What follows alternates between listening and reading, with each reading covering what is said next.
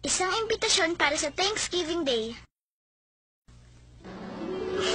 Bumili tayo ng mga pangkulay, hindi ba? Oo. Bumili din tayo ng mga laso. Ngayon, kailangan natin bumili ng pako. Judy, natutuwa ako at sumama ka sa akin. Ayos lang. Para naman ito sa Thanksgiving Day. Hindi na ako makapaghintay. Pero Sally, bakit ikaw lang ang namimili ng mga ito? Meron naman sigurong ibang mga estudyante na pwedeng gumawa nito ah. Alam mo, yung ibang mga bata gumawa na ng plano para sa mga play at parada para sa Thanksgiving. At ngayon naghahanda nga sila para doon. Wala lang kasi akong maisip na ibang ideya eh. Palagay ko, hindi ako magaling gumawa ng plano. O hindi, sarado sila. Sa tingin ko, papunta pa ako sa kabilang bayan para bumili ng pako. Ah, sige, pumunta tayo. Halika na. Okay, Narinig niyo ba yun?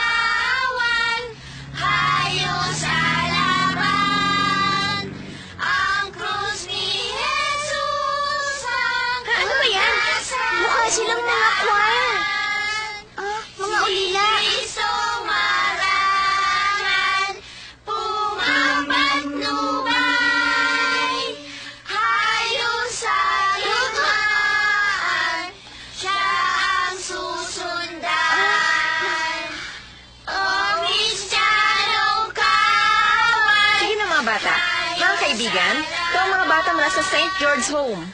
Gusto niyo bang bigyan ng mga batang ito ng konting ng biyaya mula sa Panginoon? Kawawa naman mga bata. Malilit pa yung iba. Maraming salamat sa inyong donasyon. Nakakaawa naman. Mami, gusto ko rin pong gawin yan. Ah, gusto mo bang maglagay dito ng barya, ha, anak? Sobra naman sila. Kailangan mo maging matatag at gawin mo ang lahat. Opo, ma'am. Maraming salamat. Huh? Para sa'yo ito. Opo. Naggalit talaga ako. Maraming salamat po sa panyo ninyo. Malaking tulong po talaga ito. Maraming ito kamay ko. Ah! Emily! Ayos ka lang ba? Sobra naman sila. Hindi ako makapaniwala. Mga ulila? Ayoko silang tignan. Kawawa naman. Para sa biyaya ng ating Panginoon, Nakakatuwa naman yung mga bata. Kawawa naman sila. salamat. Ah, meron ako nakalimutan. Kailangan ko nang umalis. Para sa biyaya ng ating Panginoon, Oh, para sa ito kawawa mga bata. Maraming salamat. Tulungan niyo po naman ang mga kawawang bata na nangangailangan. Tulungan niyo po. Ano ba nangyayari sa'yo, Sally? Mamimili pa tayo, hindi ba? Bumalik na nga si Judy dun eh. Ah, tama. May naisip ako. Ano yun? Bakit hindi natin sila imbitahin para sa Thanksgiving? Alin, yung mga ulila? Oo, pwede nating ibahagi ang kasayahan natin doon sa mga batang walang pamilya, Julia. Pwede natin sila imbitahin sa Thanksgiving at mangingi ng donasyon. Oo, tama. Pwede rin tayo magpaikot ulit ng charity box. Sa tingin ko lang ang magandang plano para sa Thanksgiving.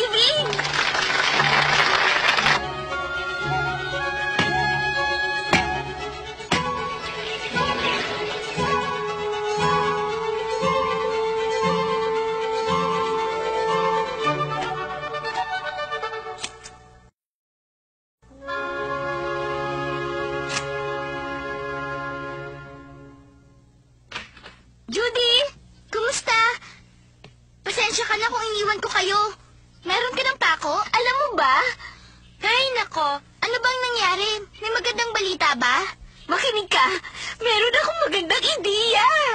Pagkatapos ba ng pagsusulit natin ng Thanksgiving? Ang Thanksgiving ay laging sa ikaapat na linggo ng Nobyembre. Alam ko naman yun.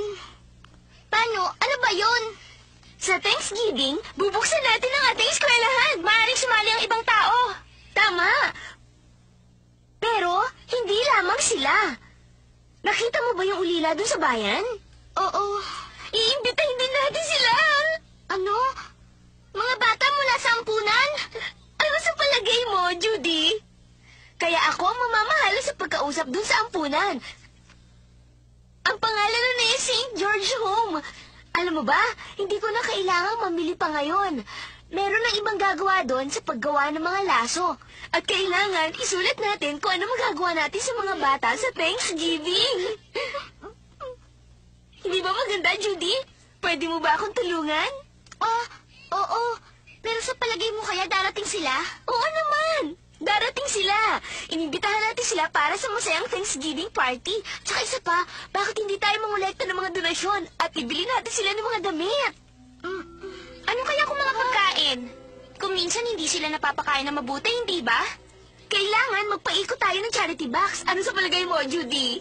Ha? Alam mo, sa tingin mo ba magugustuhan nila yan? Sa palagay ko naman, oo. Oo naman, magugustuhan nila yon. Ang mga bata sa ampunan ay malungkot at walang mga magulang. Kapag nakakuha sila ng regalo at makipaglaro sa atin, matutuwa silang lahat. Masaya sila kanina nung kinakanta nila yung awitin, hindi ba? Kaya sa tingin ko, magugustuhan nila ideya natin. O Kristyanong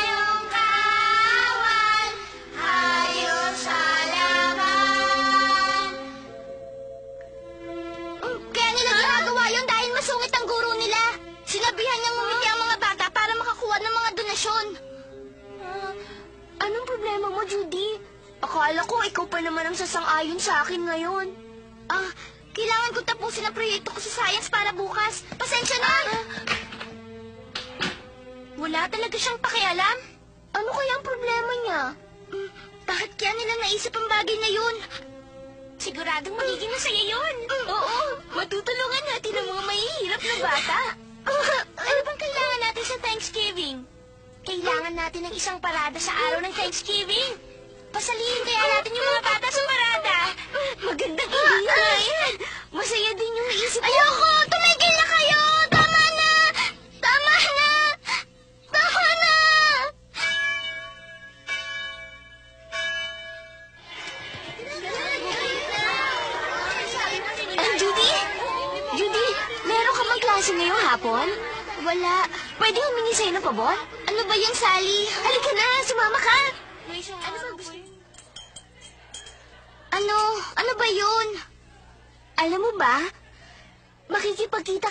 Ako sa isang guro ng St. George Home. Sa isang guro ng ampunan?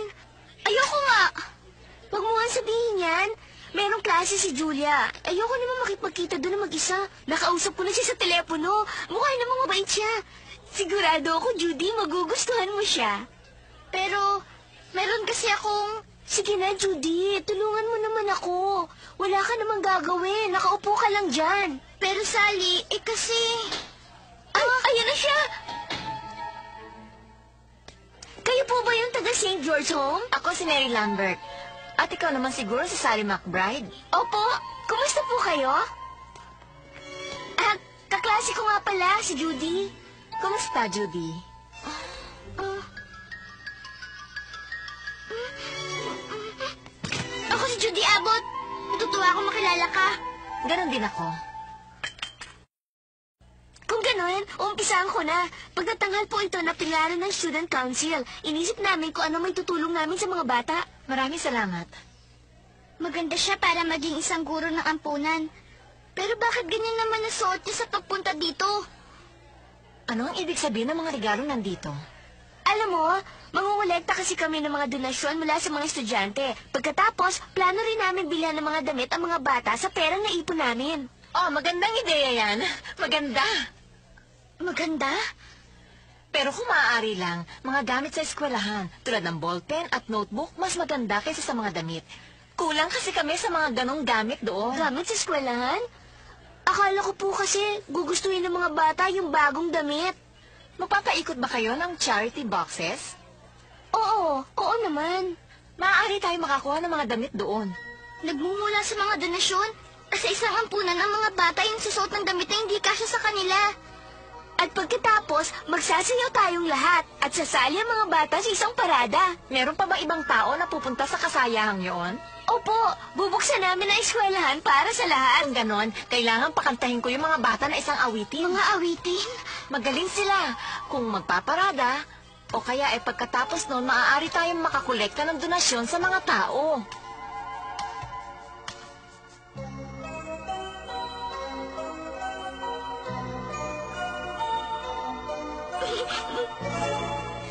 Pakakantahin niyo ulit sila para sa mga donasyon. Ulit? Ah, oh, napanood niyo siguro na kumanta sila sa simbahan, hindi ba? Oo, lumilibot kami at kumakanta kahit saan sa besan linggo. Isang beses isang linggo? Nakakatuwa naman. At pagkatapos ng parada, yung mga bata iimbitahin sa kainan. Mabuti kung ganon. Sally, maghahanda ba kayo ng maraming pagkain para sa mga bata? Ah? Ah?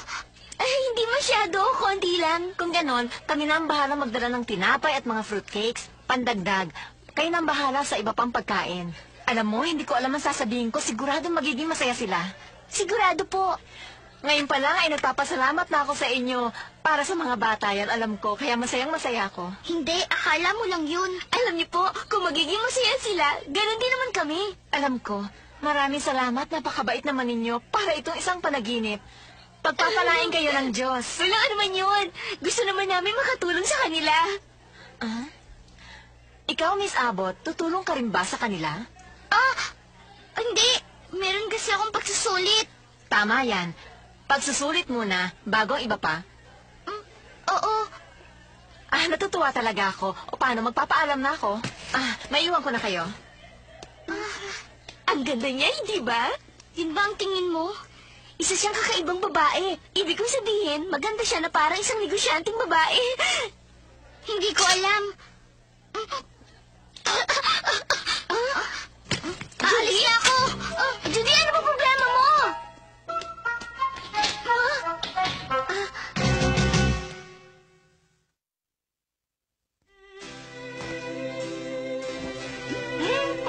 maganda nga yan. Siguradong matutuwa yung mga bata niyan. Pero bago pa ang lahat, gusto kong batiin ang taong nag-isip ng ideyang ito. Kumusta, Judy?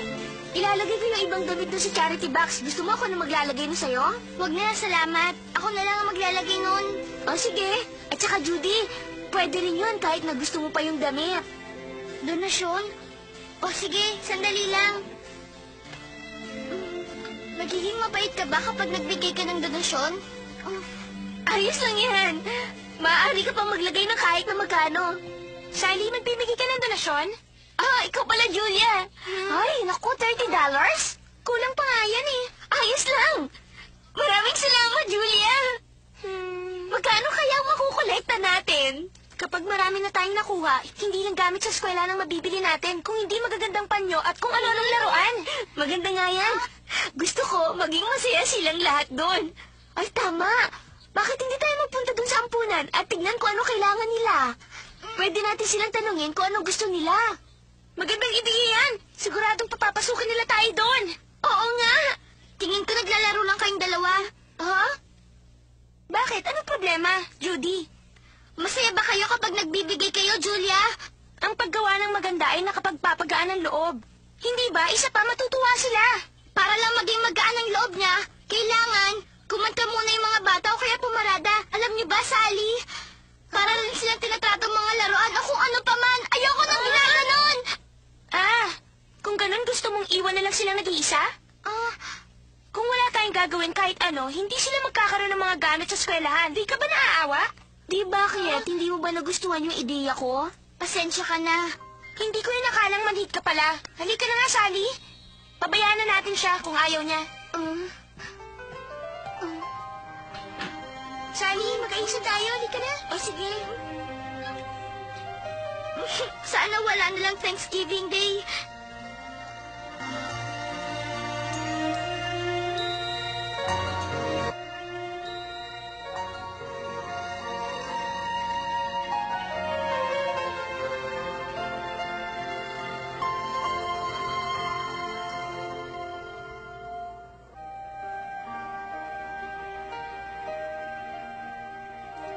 Salamat sa pagpunta niyo dito. Sumunod kayo sa akin. Si Miss Lambert ay wala dito ngayon. Gayunman, gusto namin kayong pasalamatan sa pag-iimbita ninyo sa amin sa Thanksgiving Day sa magandang eskwelahan ng Lincoln Memorial Girls High. Pero hindi ba kami nakakaabala? Ay, hindi naman po. Huwag po kayong mag-alala. Ha? Ah. Oh.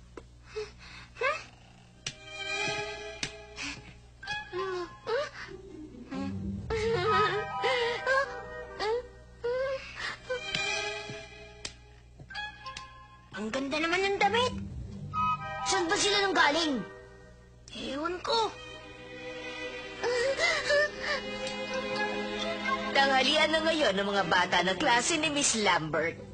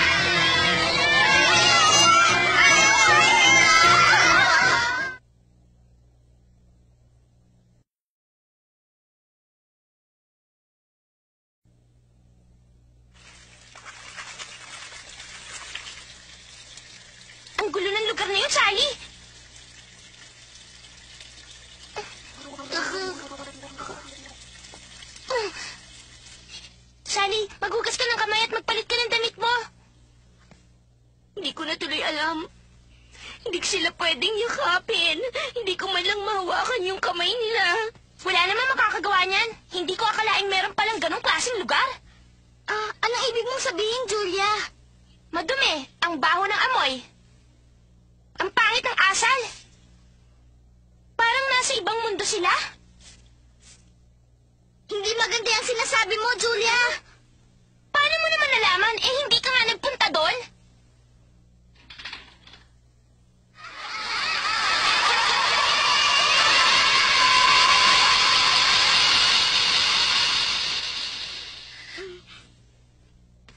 Hindi ko naisip na ganun pala ang bahay ampunan. Ha? Kung ganoon, anong gagawin niyo sa Thanksgiving Day, Sally? Hindi ko alam. Ano? Hindi ko na sila iimbitahin at sasalubungin. Wala doon si Miss Lambert. Kaya sinabi ko na lang doon sa principal. Ayoko na magpunta doon. Ayoko na talaga. Sally, Ah, hindi naman yata tama yan. Hindi ko na magagawa. Bakit hindi? Judy, hindi ka naman interesado mag-imita ng mga ulila noon, hindi ba? Bakit parang nag-iba ka ata? Hindi yan ang pinag-uusapan dito. Ha? Nagsinungaling tayo sa kanila. Natutuwa ka nung nagpaplano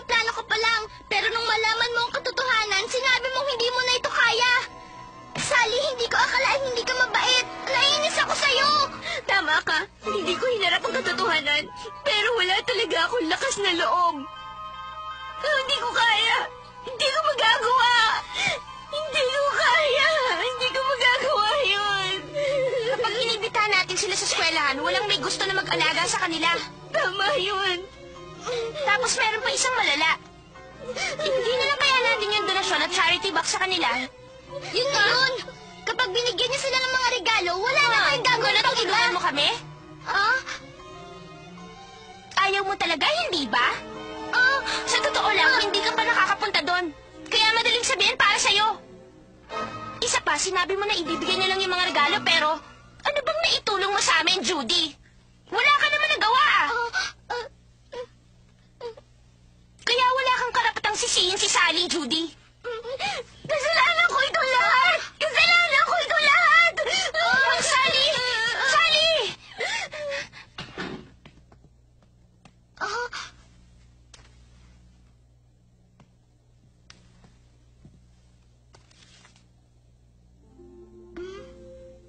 Si Sally ay nagmula din sa isang mayamang pamilya. Hindi niya alam ang nararamdaman ng mga ulila. Walang makakaintindi nito. Dear Mr. Smith, nagagalit po ako sa anak ng mga mayayaman pero baka naging kapareho na nila ako ngayon. Nakakatakot. Ayoko. Ayoko maging katulad nila. At isa pa, pipilitin ko mabago ang buhay ko. Ayoko nang mabalik pa sa bahay ampunan. Ayoko na talaga. Sana matupad ko ang mga pangarap ko.